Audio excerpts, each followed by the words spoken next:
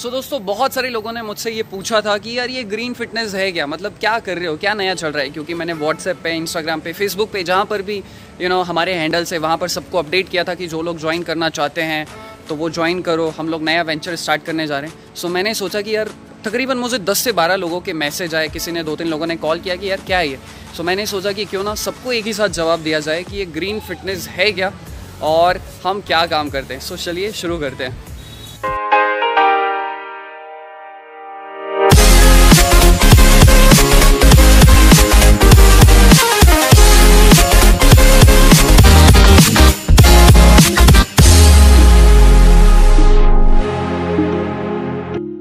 Before मैं आपको ये बताऊँ कि यार हमारा आइडिया क्या है? ग्रीन फिटनेस क्या काम करता है? हम किस तरीके से काम करते हैं? वो बताने से पहले मैं आपको बताना चाहूँगा कि हमने अपने वेंचर का नाम ग्रीन फिटनेस ही क्यों रखा?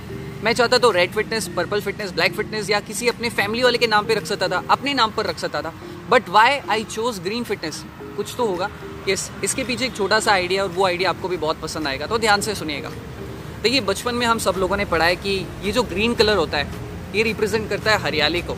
ये रिप्रेजेंट करता है एनर्जी को, ये रिप्रेजेंट करता है फ्रेशनेस को, ये रिप्रेजेंट करता है लॉन्जिविटी को। लंबे समय तक जो चीज़ रहती है, उसको रिप्रेजेंट करता है। तो हमने ये देखा कि यार, हम जिस फिटनेस कॉन्सेप्ट को डेवलप कर रहे हैं, अपने वेंचर के अंतर्गत, वो एक ऐसी फिटनेस है जो आपको फ्रेशनेस फील कराती है, जो आपको एनर्जेटिक फील कराती है थ्रू आउट द डे और हम सीरियसली जिस फिटनेस कॉन्सेप्ट को लेकर आए, अगर आप उसको फॉलो करते हैं तो आप लाइफ लॉन्ग फिट रहते हैं, जो आपको लंबे समय तक, ज़िंदगी भर काम में आएगी। तो इसीलिए मुझे लगा कि हमने जो कॉन्सेप्ट डेवलप किया है, वो बहुत हद तक ग्रीन कलर जिस चीज़ को रिप्रेजेंट करता है, जिस आइडिया को रिप्रेजेंट करता है, उससे मिलता जुलता है। इसीलिए हमने इसका नाम ग्रीन फिटनेस रखा है। और खुशी की बात यह है कि आज मैं जिस जगह पर बैठा हूँ, वो भी बहुत ग्रीन है और मैंने जो ड्रेस पहनी है, वो भी ग्रीन है। वाह अमेजिंग सो अब मैं आपको बताना चाहूँगा कि ग्रीन फिटनेस का आइडिया क्या है? हम किस विजन के साथ काम कर रहे हैं? देखिए, इतनी साल आई थिंक मुझे तकरीबन सात आठ साल हो चुके हैं इस फिटनेस इंडस्ट्री में रहते हुए। सेवन्थ क्लास से अनऑफिशियली और ट्वेल्थ क्लास के बाद से ऑफिशियली तो मैंने ये देखा कि यार मुझे कहीं रियल फिटनेस जो होती है, वो नहीं दिखाई दी। आप में से बहुत सारे लोग सोच रहे होंगे, यार मैं किस फिटनेस की बात कर रहा हूँ? आप कहेंगे, हम तो जिम जाते हैं, हम तो योगा क्लब जाते हैं, और क्या चाहिए?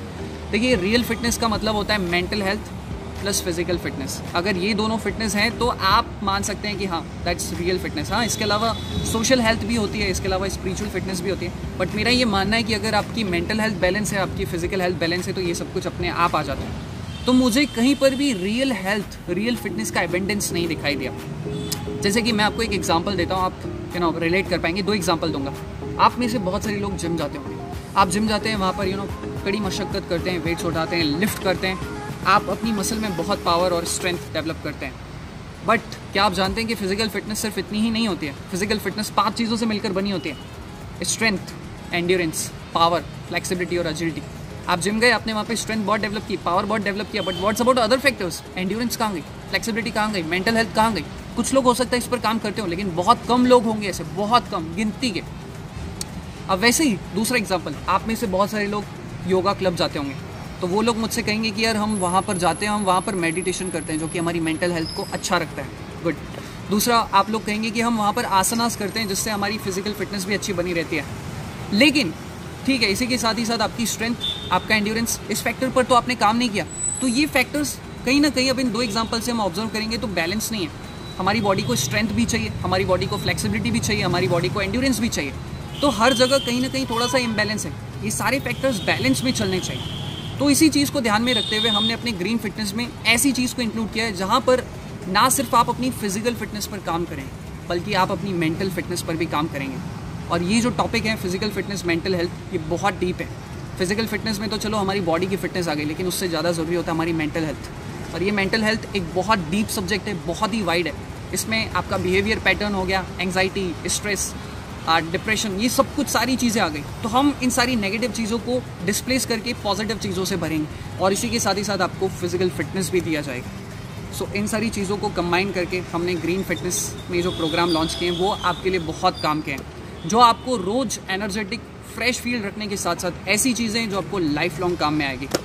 और बहुत सारी वैल्यूज़ भी मिलेगी। हालाँकि मैं वैल्यूज़ की बात अभी नहीं करूँगा, क्योंकि मेरा ये मानना है कि ओवर डिलीवर करो। पहले से सब कुछ मत बता दो। थोड़ा बहुत यू नो बचा के भी रखना चाहिए। सो so, बहुत सारी वैल्यूज़ भी मिलेगी लेकिन मैं आपको वो अभी नहीं बताऊँगा। सो so, यार ये है हमारा ग्रीन फिटनेस का कॉन्सेप्ट और ये तो इसका पहला पार्ट है। सेकंड पार्ट कल या परसों आएगा उसमें मैं आपको बताऊँगा कि हम किस तरीके से काम करते हैं और किस तरीके से आप हमारी सर्विसेज़ ले सकते हैं। इसी के साथ ये वीडियो समाप्त करता हूँ। मैं आपकी स्वास्थ्य की कामना करता हूँ। थैंक यू इसी तरह अपना प्यार बनाए रखें। बहुत बहुत शुक्रिया।